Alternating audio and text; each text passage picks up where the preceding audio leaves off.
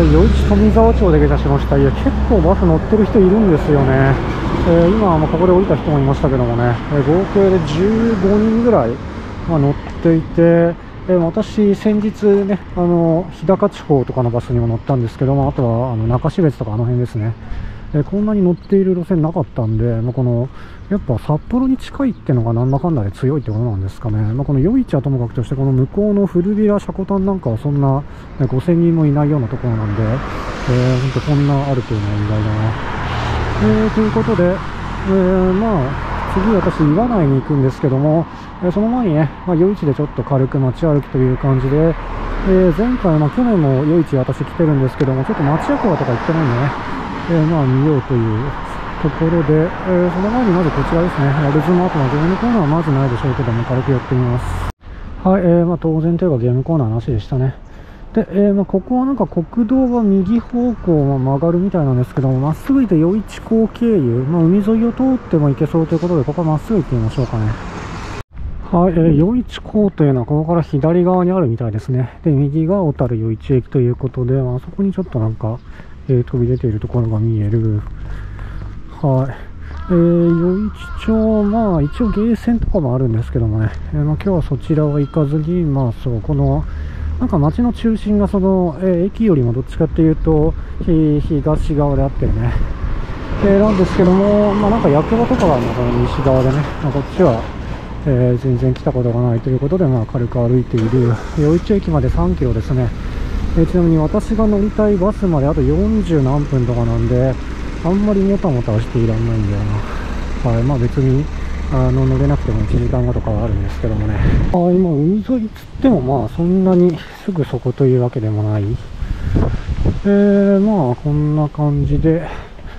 えー、まあ建物はそれなりにある。その辺でもう国道と合流するのかな。はい、こちらは水産試験場とありますね。えー、まあ、なんかちょっと草ぼうぼうみたいに見えるけど、なんか普通にやっているらしい。で、えー、っと、まだ国道の先かな。はい、ちょっと子供乗ってるんであれですけど、今のこの幼稚園バスよく見たらいちご系カラーでしたね。はい、まあここはちょっと遠いけども、でも新小樽駅は、どの辺りにできるんだろうな。はい。で、えー、そこもなんか、そこも注意の看板の、ね、道路の形も面白いですけども、まあ、斜め右に曲がったところで、まあ、えー、斜めに、えー、その国道に突き当たるという形ですね。はい、何の9キロなんだろうな、これは。えー、まあ、ちょっとわからないけども、えー、ここは信号のない交差点では、ここ左で、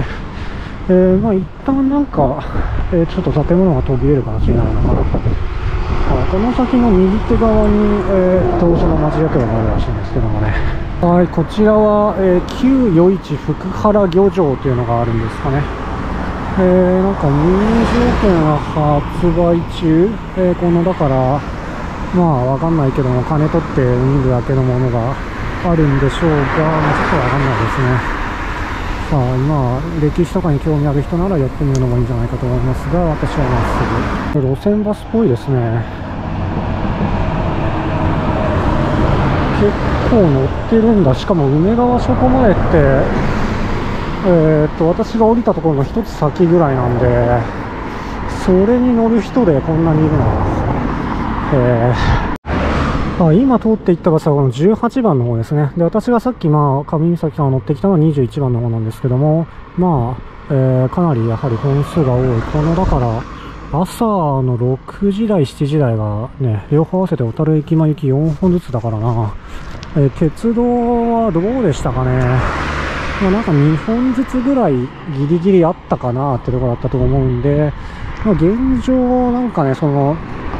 えー、まあ、この余市小樽間とかは、えー、北海道新幹線開業時の廃線がなんか、えー、ちょっと騒ぎになってるような感じはありますけども、えもう現状でかなりバス有利ということなんですかね、これはね。そう実際その本数が多いだけじゃなくて日中の利用者がこれだけいるということはねもう JR あんま使われてないんじゃないかというね そんな感じをしちゃいますけどもその相対的にもね。えー、まあそんな感じで、えー、まだちょっと役場とか見えないか。はいそちら曲線半径50とありますね。えー、50メートルか、その50の数字だけ、まあ、塗り直した感じがありますけどね、あまりこれも見ない看板な気がする。え、そしてこの先はなんか札幌小樽方面は左なんですけども、えー、まあなんだ、えまっすぐ行くとその余市駅前は私がバスに乗るあたりに着いて、まあその国道5号線の小樽方面にはちょっとショートカットみたいな道がね、あるということなんですけども、はい、あまあ適当に来まして、こちらが、これが役場、余市町としか書いていないが、余市町庁舎とありますね。ということで、まあ、こちらでいいでしょう。はい。はい、今のバスも5人ぐらい乗ってましたね。えー、そう、だからこれでやっぱ小樽駅前まで行くっていうのが便利なんだろうな。まあ、この後余市駅前を経由していくはずですけども、まあ、そこでわざわざ、ね、JR に乗り換えて小樽経由よりは、まあ、バスでね、小樽まで行ってから、まあ、札幌に行くにしても小樽乗り換えというね、えー、そっちが主に使われてるんでしょうね。で、えー、ここは余市橋ですね。え、ま、これを渡って、なんか、渡ってすぐ右側に道の駅があるのかな？その辺がもう川の河口でね、えそっちの橋の方がなんか立派ですね。えでもこちらはこうなっていて、えーと、なんだ、途中まで函館本線とか襲ってるんですかね、この川はね。くっちゃんは南側に流れるのかな？いや、そんなことはないな。ちょっと忘れたけど、まあいいや、わかんないものはわかんないからね。で、そこに見える看板があれ、道の駅で、まあなんかその辺右側にあるっぽいは、ちょっと寄ってる時間はあまりないですね。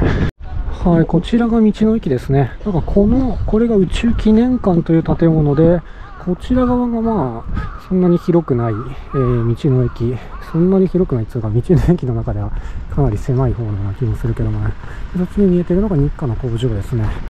はい、えー、ここが有名なその日課ウイスキーの、まあ、なんか古い建物がそのまま残ってるのかな。はい、なんかその工場見学とかもできるみたいですけども、私は当然まあ行かずに、えー、そこちょっとまあ左にカーブしてすぐのところが国道5号線との、えー、交差点で、え正面すぐが余市駅で、まあ、バス停は、まあ多分左右どちらかだと思うんですけどもね。はい、ということでこちら正面が余市駅で、えー、多分バス停はそこだと思うんだよな。この駅前十字街、おそらくその岩内方面に行くやつは、えー、なんかそのね、えネット上で見る限りでは、余市駅は通らずに、まあ、この国道5号線をね、まあ、ずっと行くんだと思いますが、えー、ありますね、岩内ニセコ方面行き。